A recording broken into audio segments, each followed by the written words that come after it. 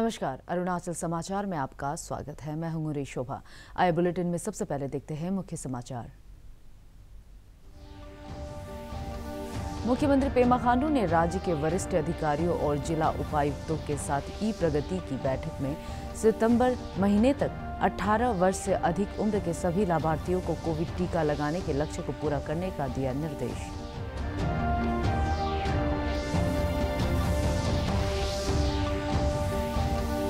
आज़ादी के अमृत महोत्सव के तहत केंद्रीय संस्कृति मंत्रालय ने अंतर्राष्ट्रीय योग दिवस पर सोमवार को देश के 75 धरोहर स्थलों पर सांस्कृतिक कार्यक्रम किया आयोजित। ऐतिहासिक बोमडिला बोध मठ में आयोजित योग और सांस्कृतिक कार्यक्रम में स्थानीय कलाकारों ने लिया हिस्सा। देश भर में पिछले 24 घंटे में कोविड संक्रमण के बयालीस नए मामले। अरुणाचल प्रदेश में दर्ज किए गए दो सौ चौरानवे नए मामले और 270 रोगी हुए स्वस्थ। राज्य भर में अब तक लगाए जा चुके हैं पाँच लाख कोविड टीके।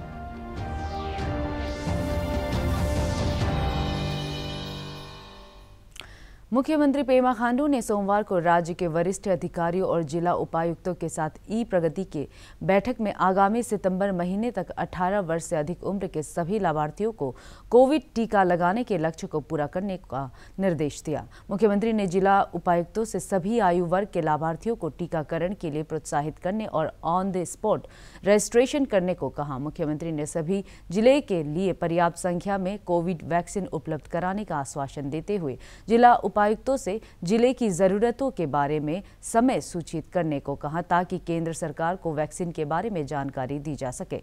उन्होंने जिला उपायुक्तों प्राथमिकता के आधार पर पूरी की जाने वाली विकास परियोजनाओं के बारे में जानकारी देने और कार्य की गुणवत्ता और प्रगति की नियमित समीक्षा करने को कहा। बैठक के दौरान RIDF की परियोजनाओं राज्य के सभी ट्रेजरी को डिजिटल बनाने state wise area network e office Jal Jeevan mission transmission lines नशा मुक्ति अभियान परियोजनाओं के लिए भूमि अधिग्रहण, Hollongi airport Joram Koloriang trans Arunachal highway और यांगते ताली पर चर्चा हुई। मुख्यमंत्री ने अपने एक ट्वीट में बताया कि राज्य में ऑक्सीजन बेड्स की संख्या बढ़ाकर 815 हो गई है और अगले महीने तक इसे बढ़ाकर 1000 करने का लक्ष्य है। मुख्यमंत्री ने बताया कि प्रदेश में 17 नए जिला अस्पताल का निर्माण चल रहा है। जिसमें से तवांग जिला अस्पताल का कार्य लगभग पूरा हो गया है। अंतर्राष्ट्रीय योग दिवस के अवसर पर सोमवार को केंद्रीय संस्कृति मंत्रालय ने देश के 75 धरोहर स्थलों पर सांस्कृतिक कार्यक्रम आयोजित किया। आज़ादी के अमृत महोत्सव के तहत आयोजित इस कार्यक्रम में अरुणाचल प्रदेश के बोमडिला में स्थित बोध मठ में भी कार्यक्रम आयोजित किया गया। इस अवसर पर योग और कला संस्कृति पर आधारित कार्यक्रम में स्थानीय कलाकारों ने हिस्सा लिया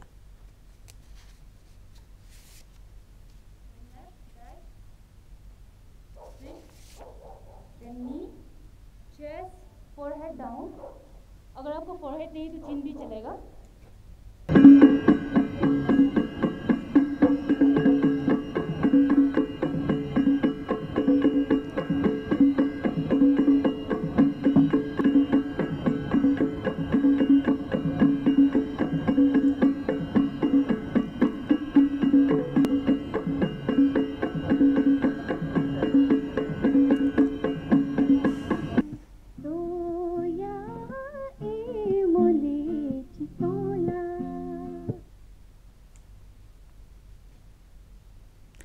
देश में कोविड के सक्रिय और नए मामले तेज़ी से घट रहे हैं। इसके साथ ही संक्रमण से स्वस्थ होने की दर भी सुधरकर छियानवे दशमलव चार नौ प्रतिशत हो गई है। केंद्रीय स्वास्थ्य और परिवार कल्याण मंत्रालय ने कहा है कि देश में पिछले 24 घंटे में कोविड के बयालीस नए मामले दर्ज किए गए और इक्यासी रोगी स्वस्थ हुए।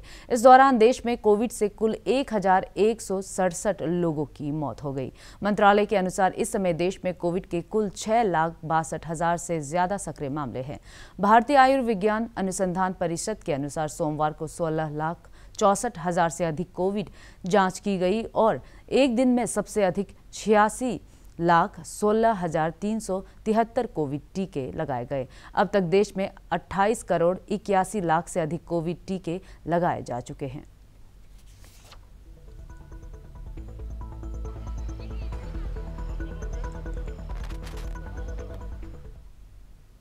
अरुणाचल प्रदेश में पिछले 24 घंटे में कोविड संक्रमण के दो सौ चौरानवे नए मामले सामने आए और 270 रोगी स्वस्थ हुए। राज्य में कोविड के सक्रिय मामलों की संख्या बढ़कर दो हज़ार पाँच सौ उनतालीस हो गई है और रिकवरी दर घटकर इक्यानवे दशमलव नौ दो प्रतिशत रह गई है। सोमवार को कोरोना जाँच के लिए राज्य भर से पाँच हज़ार दो सौ पाँच सैंपल एकत्र किए गए। प्रदेश में दर्ज किए गए नए मामलों में सबसे अधिक ईटानगर राजधानी क्षेत्र से उनसठ वेस्ट कामेंग से 25, ईस्ट सियांग से 20, चांगलांग से 19, अपर सुबनसरी लोंगडिंग और लोहित से 16 16 मामले शामिल हैं जबकि स्वस्थ हुए रोगियों में सबसे अधिक वेस्ट कामेंग से 43, राजधानी ईटानगर क्षेत्र से 35, नामसाई से उनतीस चांगलांग से 24, लोंगडिंग से 23 और ईस्ट कामेंग से 22 रोगी शामिल हैं।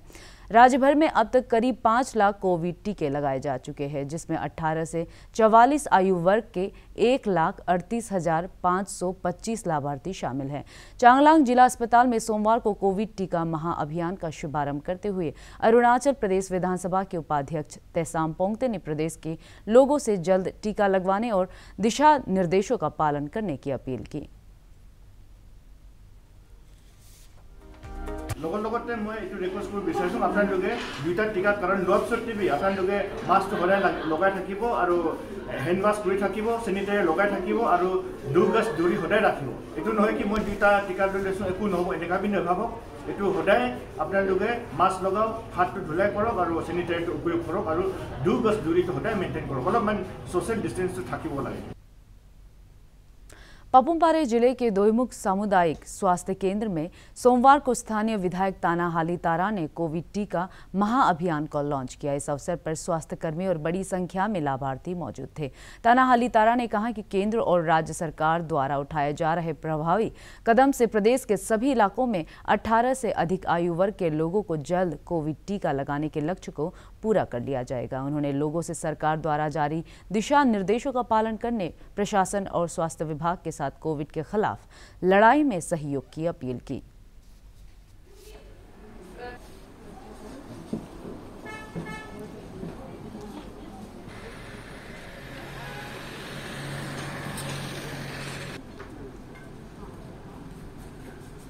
ये नया जो महाअभियान के ट्वेंटी फ़र्स्ट से अभी एटीन टू एबव जितना एलिजिबल कैटेगरी है कोविड नाइन्टीन वैक्सीनेशन का सी बी हर सी में इसका वैक्सीनेशन दिया जाएगा।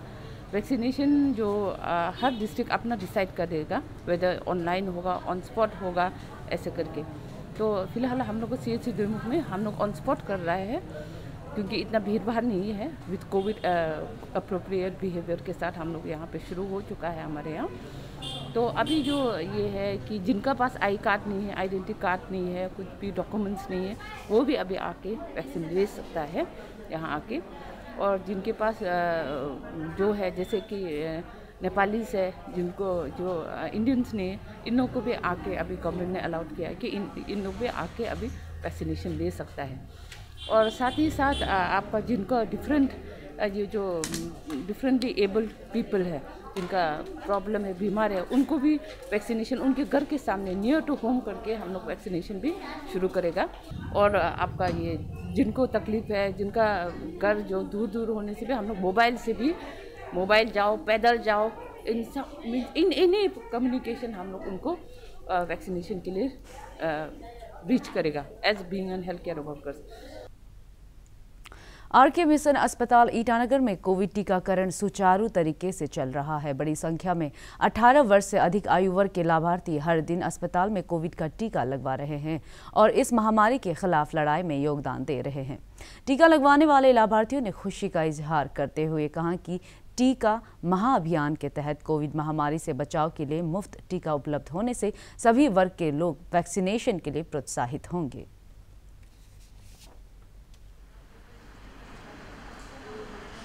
जी, मेरा नाम है विक्रम कुमार देव। मैं यहाँ ई सेक्टर में रहता हूँ, ईटानगर का ही। और मैंने आज बहुत दिन के बाद मैंने भी वैक्सीन लिया है। काफ़ी सारा डोज मीन्स ऑनलाइन रजिस्ट्रेशन के थ्रू और वैक्सीन लेकर अभी तक यहाँ के जैसे डॉक्टर है, जितने नर्सेस है उन्होंने मुझे बोला है, आधा घंटा रेस्ट कीजिए। अगर आपको कुछ नहीं होता तो आप जा सकते हैं। तो इसलिए मेरा अभी और दस मिनट जैसा है आधा घंटा होने के लिए, उसके बाद मैं जाऊँगा। साथ ही साथ जो मैंने सुना है कि मोदी जी ने ये योगा डे से ज़रिए twenty June twenty first June twenty one two thousand twenty one से जो है सेंट्रल गवर्नमेंट ने जो बोला है एटीन एंड एबव को भी free of cost central government उठाए तो मोदी जी को मैं बहुत बहुत धन्यवाद देना चाहूँगा। लेकिन मैं यही बोलूँगा दिल से कि ले लीजिए वैक्सीन क्योंकि आप सुरक्षित तो हम सब सुरक्षित, देश सुरक्षित। तो मैं सर ना मिस गम्पी का है हम नर्सिंग ऑफिसर है। सो एक्चुअली हम लोग आज आर मिशन हॉस्पिटल में थर्ड गेट जो 18 टू 44 का 200 है एंड देन 45 प्लस का भी 200 ही है. बट अभी राइट नाउ ट्वेल्व नाइनटीन में हम लोग का ये 18 टू 44 में 116 आया हुआ है एंड 45 प्लस में सिर्फ़ दो आया है. तो बाकी जितना आएगा तब तक बाई फोर तक हम लोग कंप्लीट कर लेगा. अच्छा बात है मतलब गवर्नमेंट मतलब मोदी ऐसे दे रहे तो तो इसलिए हम फ्री में तो मतलब पैसा तो नहीं ले रहे ना? हम फ्री में मतलब वैक्सीनेशन लगा रहे तो मतलब लेना चाहिए। ये कि सबको बोलते हैं ना वैक्सीनेशन लेना चाहिए। मेरा नाम है मिस्ताबा मोहम्मद मेरा नाम नारायण सरकार। हाँ लोगों से यही बोलना चाहता हूँ कि वैक्सीनेशन लेना बहुत ज़रूरी है, क्योंकि ये वैक्सीनेशन का कोई साइड इफ़ेक्ट्स नहीं है। मुझे तो बहुत अच्छा फील हो रहा है। अभी तक भी कोई तकलीफ़ नहीं हो रहा है। और मैं रेस्ट कर रहा हूँ थर्टी मिनट्स रेस्ट करने बोला है तो कुछ दिक्कत नहीं है। सब लोग मतलब वैक्सीनेशन करिए। लोहित ज़िले के सभी टीकाकरण केंद्रों पर कोविड टीकाकरण जारी है। तेजो में कोविड का टीका लगवाने के लिए 18 से अधिक आयु वर्ग के लाभार्थियों में उत्साह देखा जा रहा है। जिला उपायुक्त मार्गे सोरा ने सोमवार को कोविड टीका महाअभियान को लॉन्च करते हुए स्वास्थ्य विभाग से लोगों को जागरूक करने और शत प्रतिशत टीकाकरण के लक्ष्य को हासिल करने के लिए ईमानदारी से काम करने को कहा।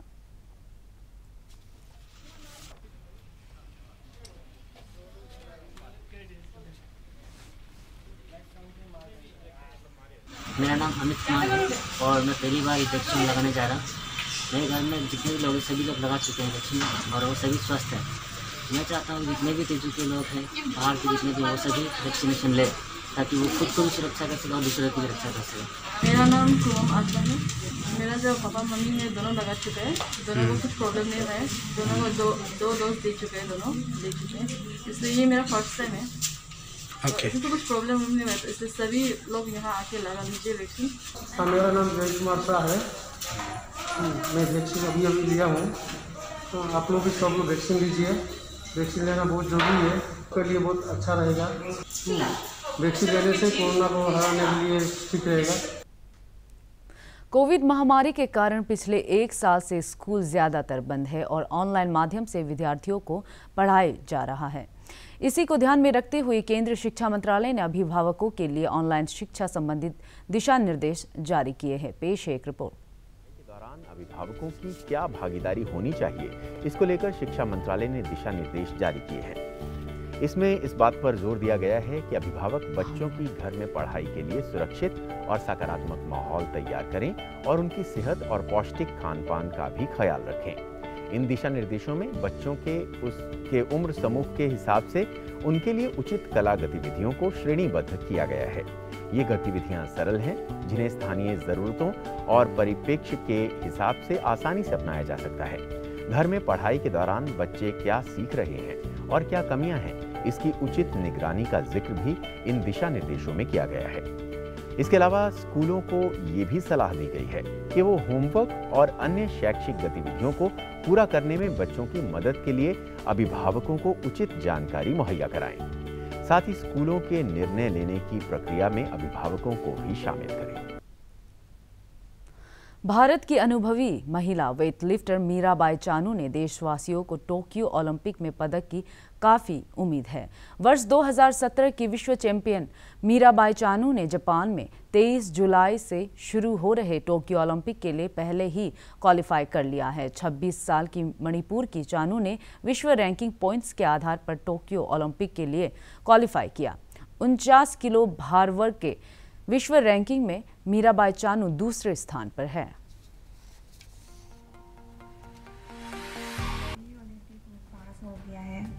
बहुत जल्दी आ जाएगी, पता भी नहीं चलेगा।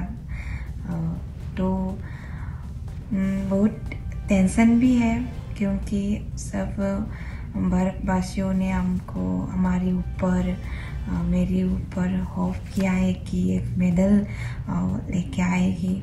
तो इसकी वजह से प्रेशर आते हैं कि आ, क्या होगा? उनका सब होप को मैं कर पाएगी या नहीं? तो बस मेरी तरफ़ से मैं पूरा मेहनत और कोशिश करके मैं बेस्ट परफॉर्मेंस दूँगी टोक्यो ओलंपिक में। अरुणाचल समाचार के आज के अंक में इतना ही। जाने से पहले आप सभी से अनुरोध है कि कोविड 19 के दिशा निर्देशों का पालन करें। हमेशा मास्क लगाए बार बार हाथ धोए और सोशल डिस्टेंसिंग के नियमों को माने। कोरोना महामारी से बचाव के लिए आपका वैक्सीन लगवाना भी ज़रूरी है। अगर आप वैक्सीन लगवाने के पात्र हैं तो ज़रूर लगवाएँ। हम कल फिर हाजिर होंगे अरुणाचल और देश दुनिया की खबरों के साथ। चलते चलते आपको बता दें कि आप अरुणाचल समाचार, हमारे YouTube channel D news Arunachal पर भी देख सकते हैं। देखते रहिए अरुण प्रभा नमस्कार।